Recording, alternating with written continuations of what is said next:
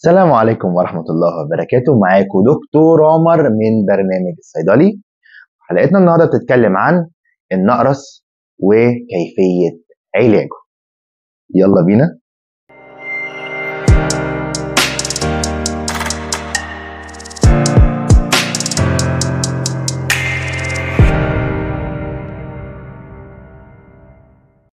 أسباب حدوث النقرس.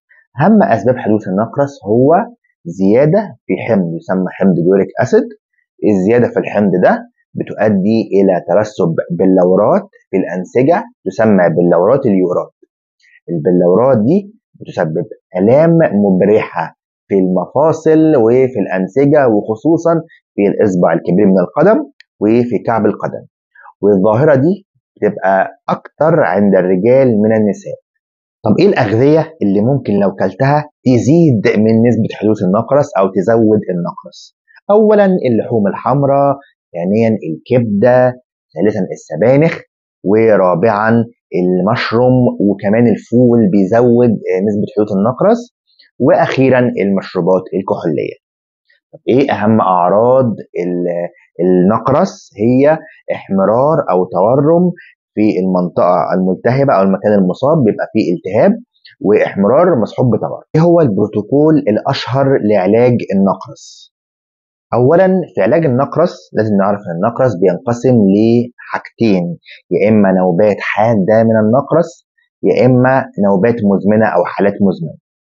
في حالة النوبات الحادة ممكن ناخد قرص من أدوية مضادة للالتهاب والتورم ومسكنة في نفس الوقت زي ال Arcoxia أو الريبوكس. وده بيكون قرص مرتين يوميا طبعا حسب اشاره الطبيب وبعد استشارة الطبيب.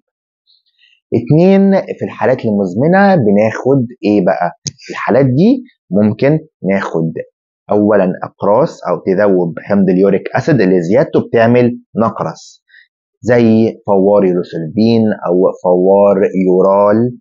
والحاجات دي كلها تتاخد كيس على نصف كوب ماء كل 8 ساعات.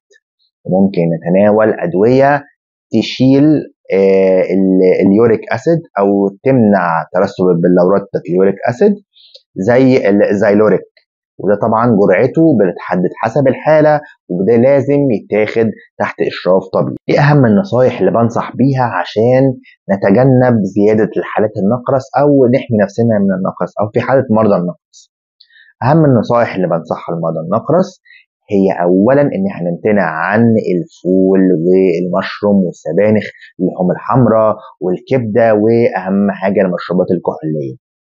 ثانيا نبطل ناخد الأدوية اللي بتزود ترسب حمض ال uric acid أو بتزود حمض ال uric acid في الدم. زي إيه؟ زي الأسبرين وزي مدرات البول. ثلاثة نزود من شرب الماء يوميا من 2 ل 3 لتر تقريبا.